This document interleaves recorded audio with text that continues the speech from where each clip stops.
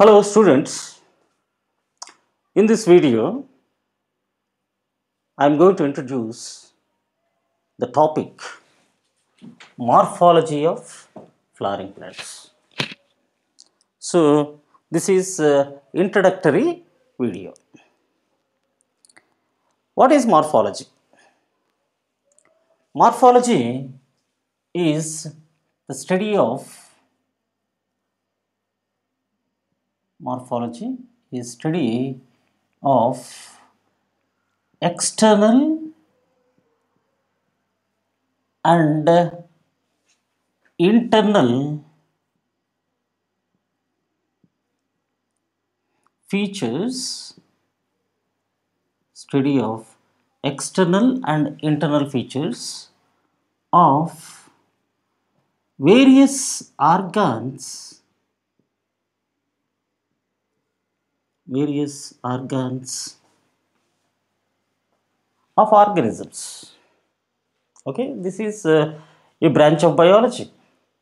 And suppose uh, uh, if we are talking uh, under botany then various organs of plants.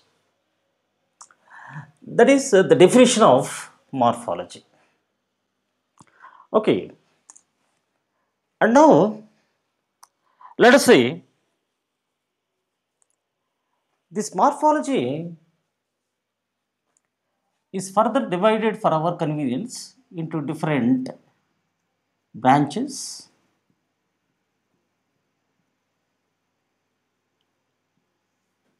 Different branches. For the convenience of study. Okay.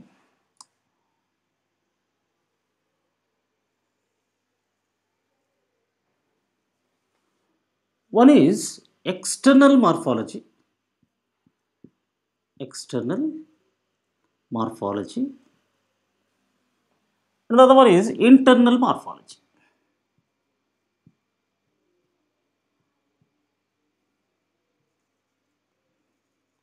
Okay in shortcut i am using m here. M for morphology. So what is external morphology?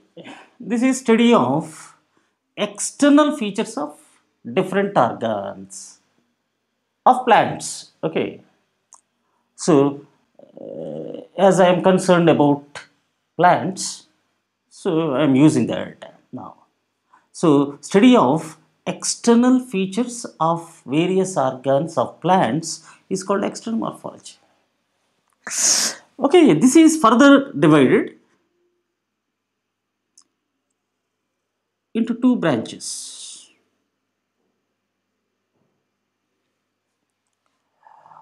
One is uh, vegetative morphology. Vegetative morphology. And the second one is reproductive morphology.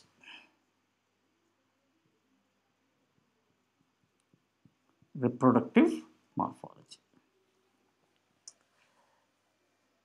So remember the plants will have uh, two types of uh, parts some are vegetative parts and some are reproductive parts. So, what are vegetative parts of the plants? Root, stem and leaves. Root, stem and leaves are uh, the vegetative parts. Then what are the reproductive parts? Flower, fruit and seed. Flower, fruit and seed are reproductive parts. Very simple.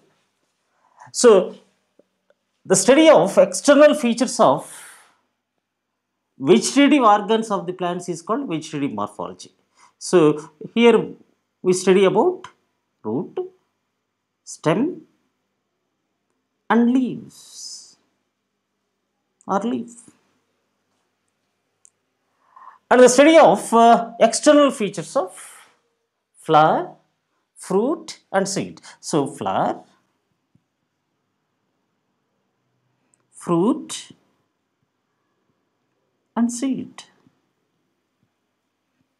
Reproductive morphology. Then let us come to this uh, internal morphology. So, this is study of internal features of various organs.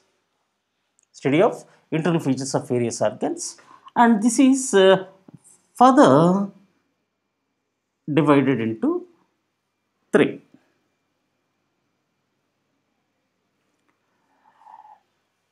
When we study internal structure, you will find uh, some uh, units. Okay, unit of life. What is that unit of life? Cell. So that is all. That is called what cytology.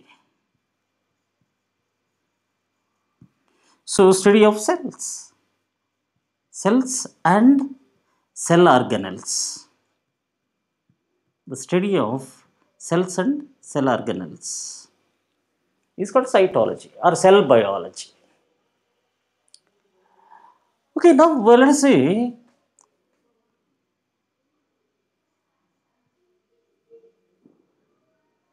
as plants are all uh, multicellular and you will find group of cells. And you know that the group of cells uh, uh, is called what? Tissue. So the study of uh, tissues and tissue systems. The study of tissues and tissue systems is called histology. Then the third one is anatomy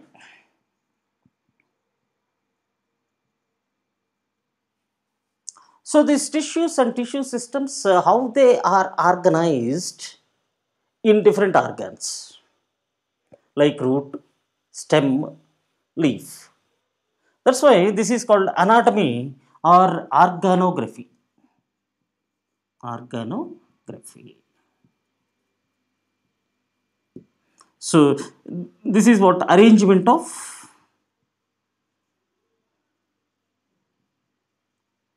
tissues and tissue systems.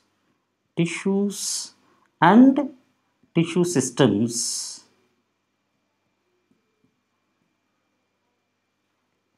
In the various organs. Various organs. Is called what? Uh,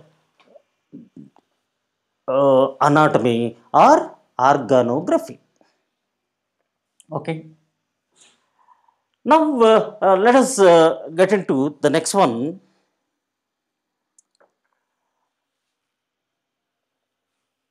Let us look into the title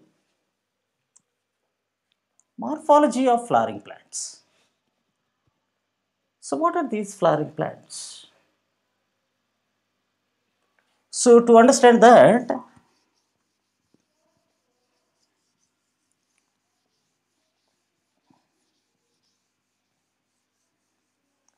let us say the plant kingdom.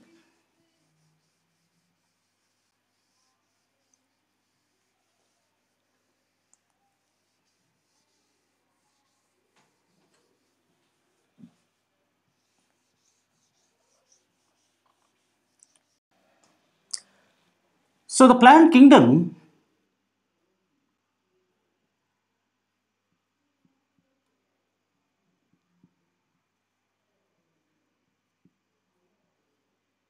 has almost uh, 5 lakh species. 5 lakh species of plants. And uh, you will find different uh, groups under this plant kingdom. And what are those uh, different groups?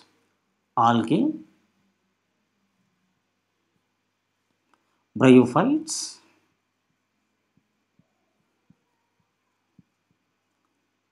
pteridophytes,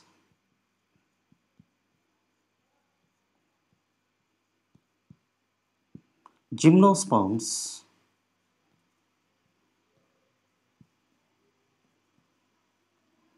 and angiosperms.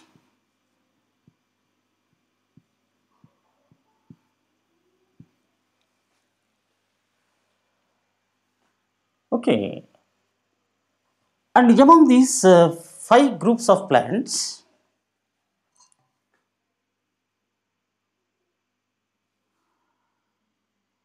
Okay. The primitive plants are algae.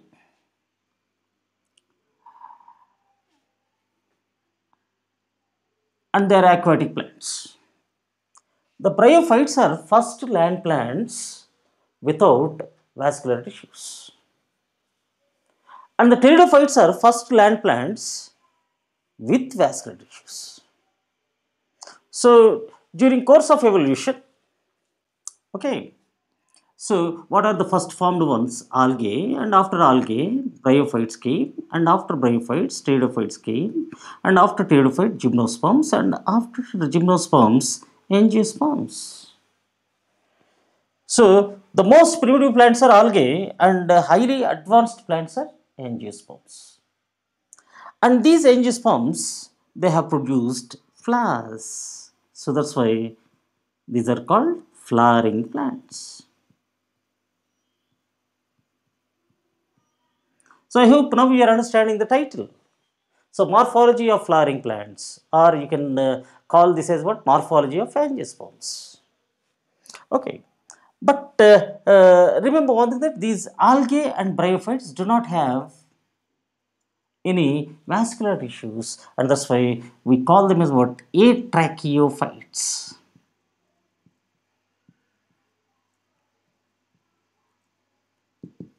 But uh, pteridophytes, gymnosperms and angiosperms.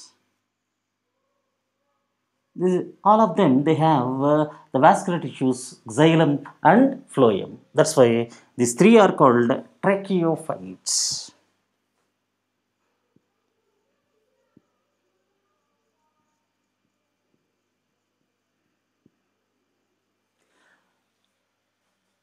Okay but uh, now uh, our focus is uh, not on all these uh, plants our focus is uh, on uh, uh, angiosperms. So, uh, to understand uh, these angiosperms, let us say uh, a flowering plant or angiospermic plant, a typical plant.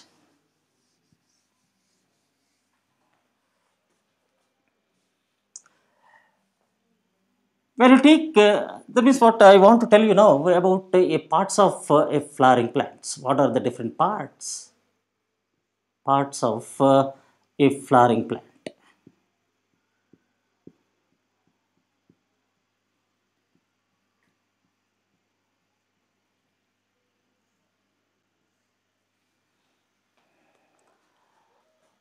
Okay.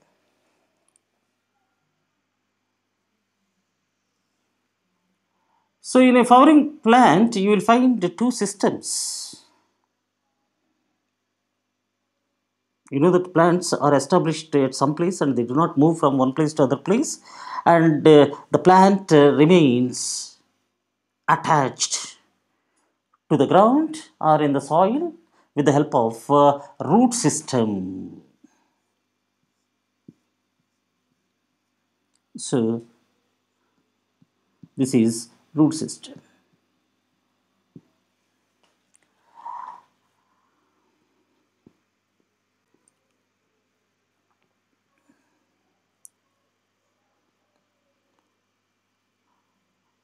And the aerial portion of the plant is called shoot system.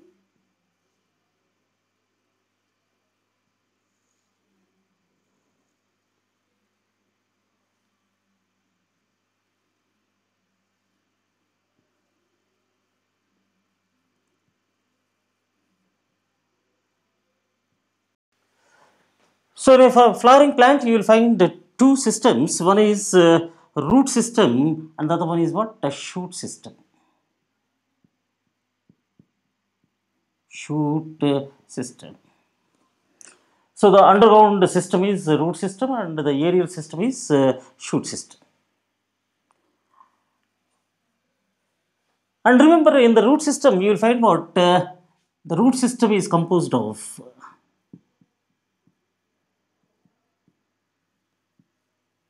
is composed of a main root.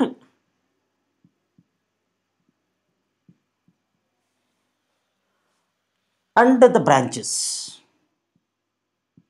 The branches. And these branches are called what? Lateral roots.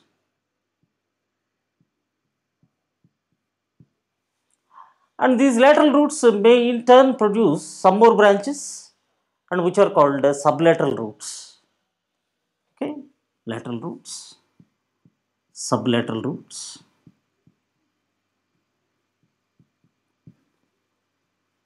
And these sublateral roots in turn may produce some more uh, short branches and uh, which are called uh, rootlets.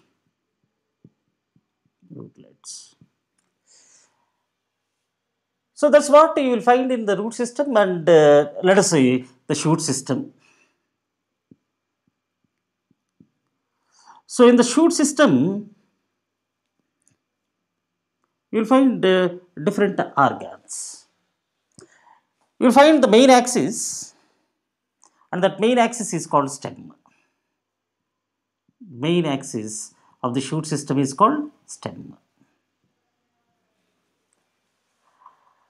And uh, on this main axis or the stem, you will find what uh, branches.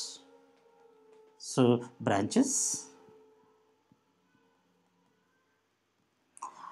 And whenever we examine a plant, uh, we find uh, these branches are of uh, different types. Like what? Okay, some are old branches, some are young branches. And these old branches are called buffs, and the young branches are called twigs.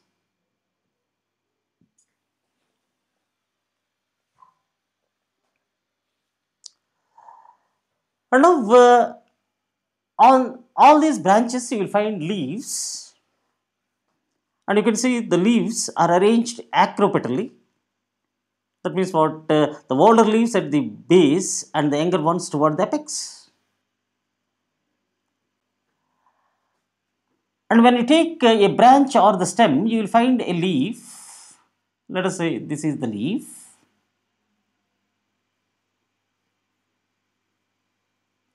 Leaf. And you will find uh, the upper surface and the lower surface for the leaf. So dorsiventral leaf. And uh, you see, let us consider this as axis, whether it is uh, main axis or uh, branch axis? Axis. And uh, this angle the upper angle between the, the leaf and the axis is called axil. The upper angle between the leaf and the axis is called what? Axis okay what i want to tell you is at every tip of the branch you will find some structure. And also in the axils of the leaves also you will find some uh, structures. Okay what are these structures?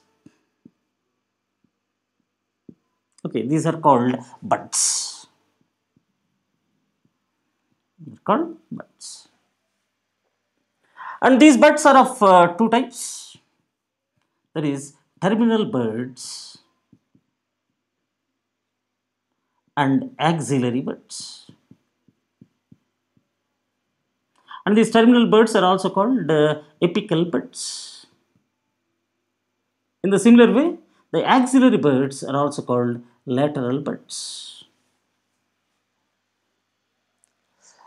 And you can see at what is this terminal bud? The terminal buds are present at the tips of the stem and also at the tips of all branches.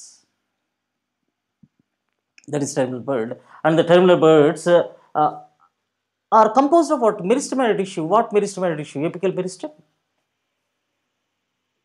And they help in the growth of uh, this uh, stem as well as the branch. Then what about uh, the axillary bud? The axillary buds are present in the axils of the leaves. They are also composed of what? The meristematic tissue. So that means in all both these uh, uh, terminal buds and axillary buds, what tissue is present? Meristematic tissue and what meristem? Apical meristem. And what we call this apical meristem present in these buds?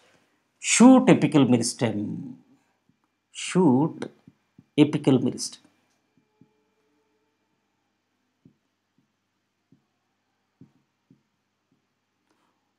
Which can be abbreviated as SAM. That is shoot apical meristem. Okay, these uh, axillary buds, uh, what is the function of these axillary buds? The axillary buds will help in the formation of branches. And of course, uh, on the stem, uh, these branches are always present uh, uh, on sides. So, that's why the branches are called what? Lateral branches. And uh, from where they are originating? They are originating from axillary buds. That's why the other name for axillary buds is also lateral buds.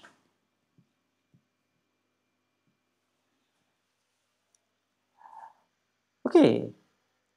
So, like that uh, you will find uh, these things. And of course, you remember that in a flowering plant, you will find uh, two phases. One is vegetative phase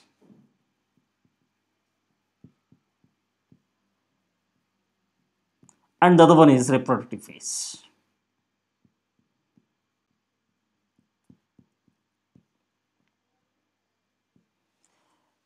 So during vegetative phase, the plant will show vegetative growth, that is growth of vegetative organs. Already we discussed that what are vegetative organs. Root, stem, leaves are vegetative organs. And during reproductive phase, so the plant produces flowers. The flowers after uh, uh, completion of fertilization become fruits and those fruits will contain seeds. These are all what are reproductive organs. Flower, fruit and seed are reproductive organs. They are formed during the reproductive phase. But from where the flower will develop? That becomes the question. Don't forget that there is one statement regarding flower. Flower is not a special organ. It is only a modified shoot is what it is only a modified shoot modification of shoot system. Means what in some plants what will happen you, you, you just check whenever you come across with uh, any flower you will find some plants will produce flowers in the axils of the leaves. That indicates that the axillary bud instead of becoming a branch became what flower for the purpose of reproduction. And in some other plants you just examine you will find uh, the flower at the tip of uh, the branch or a cluster of flower that is inflorescence at the tip of the branch that indicates that terminal bud became flower or inflorescence. So this happens during reproductive phase. So uh, that is what you will find in the parts of a flowering plant.